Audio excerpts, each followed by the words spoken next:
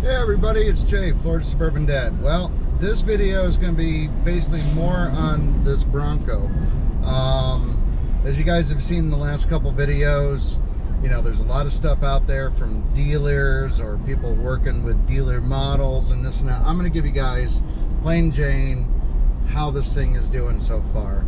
And I, the last video I gave you guys some of the things I'm finding in the first week or so. I mean, minor, minuscule little things.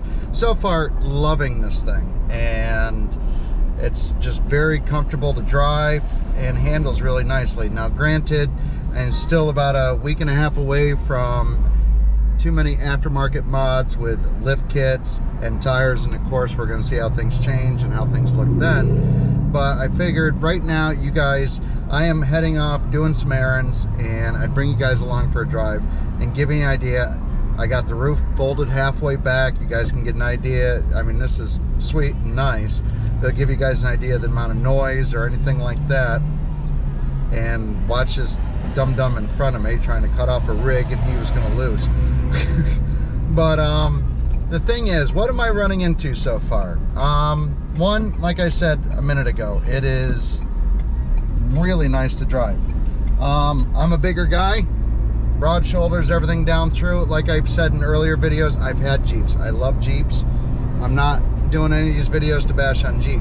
But Jeeps are narrow and for long trips and around i mean they're this is a whole different world this is basically like sitting in a caddy compared to sitting in a rubicon uh, it's wider it's basically i got a i got an off-road vehicle here that has broad shoulders like mine jeep's a little narrow which i mean it's it is what it is um, so and i'm sure you guys have seen in other videos to where yeah, the ride quality is better in this. The independent front suspension, it's where it's at on the highways. I know off-road, it's a different thing. But honestly, come on. Most everyone out there getting this thing is are not going to trailer it, trailer it from one spot to the next to take it off-road. They're going to be driving around out here in suburbia and city and everything else doing what they do. So, so far, ride is great little things. Um, this one has the cell phone charging pad down below right here. And if you are one of those people that do not have any type of case on your phone, it may work better for you. But if you have any case, and I understand with otter cases, they're thicker, bigger, heavier, you know, it might not charge as well. But mine is not an otter case. It's basically just a bump case. It's pretty thin. And you can't get it to stay on charging. Um, when it's connected to the Sync 4 system in here, you can see it. Charge, no charge, charge, no charge. It's, so I've gone old school and just hooked up a USB-C cable, short one, and just have that up here. Um, you got cup holders. I'm trying to find a place to put change, which is pretty much going right where the charging thing is. Um, I mean, come on, it's an everyday run vehicle. You're gonna have pocket change, you're gonna have all that stuff, and it seems to be working good. The cup holders, everything holds nicely. Um, dash, all the, you know, everything's working out really nice. Let's see, the cloth interior, the roast here, I am gonna figure that this area here where you rest your arm a lot and stuff, I am gonna keep an eye on that and see basically what happens there. Because, I mean, just where I'm in Florida, sun and everything else, I'm not sure how that's to wear on me. I'm not sure if I want to get a pad or something there because, come on, chilling. You know, get back and your elbow's resting there all the time. All the oils and grease from you. Let's see how that works out. Um, let's see. Visibility out of this. This is no H2 or H3 or any of that stuff, the Hummers. I'm not looking out tank ports on this thing there's really good visibility in all your windows all around. When you have the top laid all the way back, convertible style, obviously it blocks your rear view mirror. I mean, that's a given. But right now with it just half back like this, I, visibility's great. Um, are warning systems for your blind spots.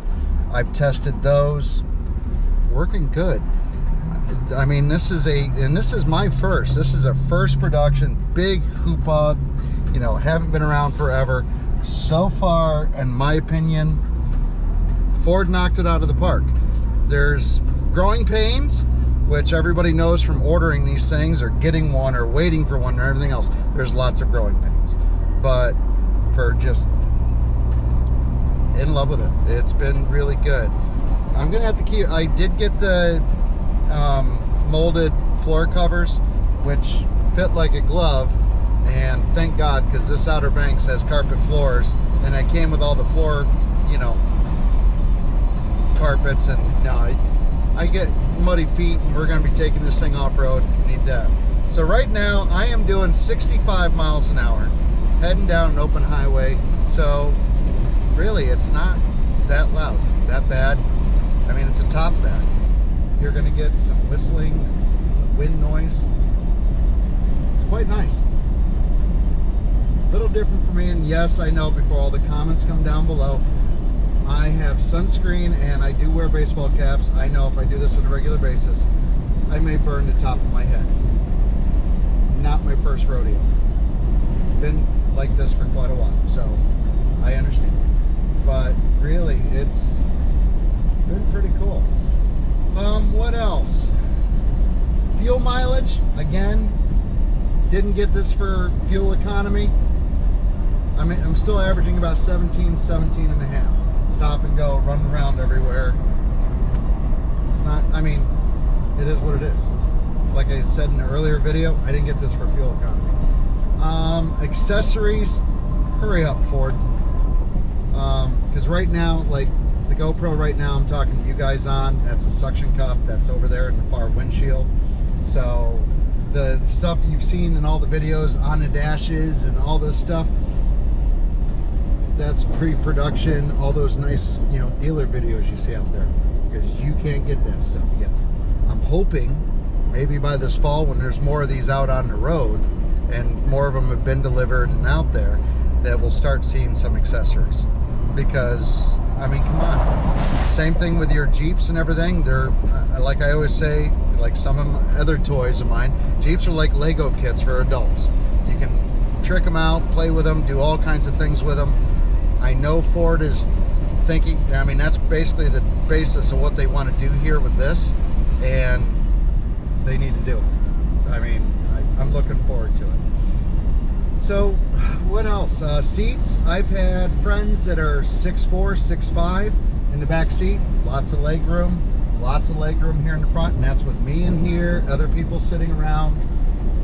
Everybody's been quite comfortable. The first thing they had to learn in the back seat is when you first get in, the seats are, I mean, almost 90 degree vertical. You're like sitting like this. Still plenty of headroom, but not comfortable at all. The, but the adjustments are on the top of the seat, so you can lay it back just a little bit, get that little more comfort level.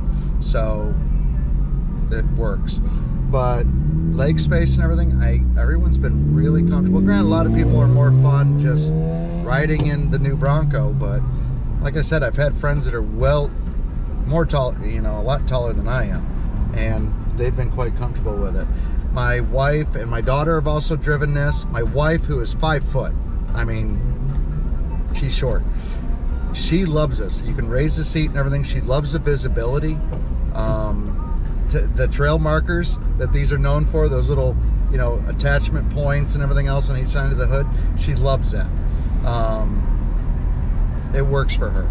But she said visibility wise, looking out the hood and seeing around, she was worried that since she's such a short stature young lady that she might have problems seeing and visibility, but she's in love with it, um, which I'm not exactly happy about. That means she's going to borrow it more, and I won't get as much time with it. But happy wife, happy life.